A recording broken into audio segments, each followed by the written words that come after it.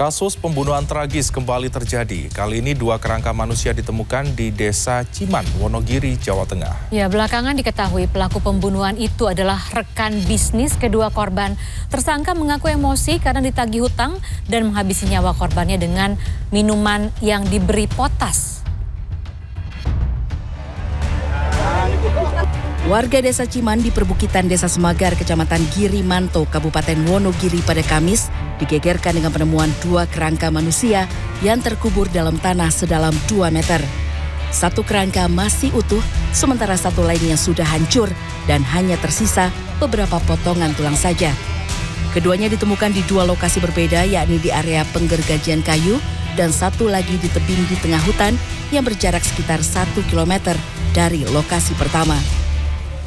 Temuan ini merupakan hasil pengembangan penyidik Polres Wonogiri terkait laporan orang hilang pada 2021 dan 2022 silam. Keduanya atas nama Agung Santosa, warga Klaten, dan Sunario, warga Jatipuro, Wonogiri. Dan inilah Sarmo, pria yang diduga kuat sebagai pelaku pembunuhan dan telah ditetapkan sebagai tersangka. Tersangka merupakan warga pendatang di Desa Semagar dan bekerja sebagai penggergaji kayu dengan menyewa sebuah lahan di pinggir perbukitan hutan di desa setempat.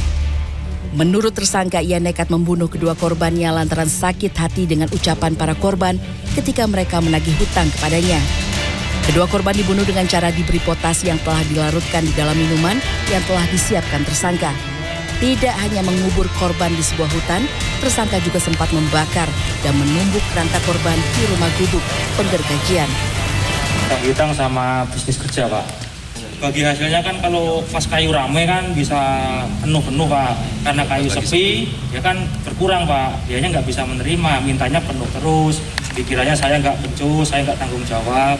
Korupsi gitu pak. Terus yang membuat saya bikin emosi dia nunjuk-nunjuk sambil ke kening saya sambil bilang Terungkapnya kasus pembunuhan yang menyisakan kerangka di Wonogiri, Jawa Tengah membawa kabar duka sekaligus lega bagi para keluarga korban. Ditemui di rumahnya pada Sabtu sore, keluarga korban Agung Santosa mengaku ingin supaya pelaku dihukum mati. Saya dan saudara pokoknya sampai Pak Sarwo dihukum mati, hukuman mati.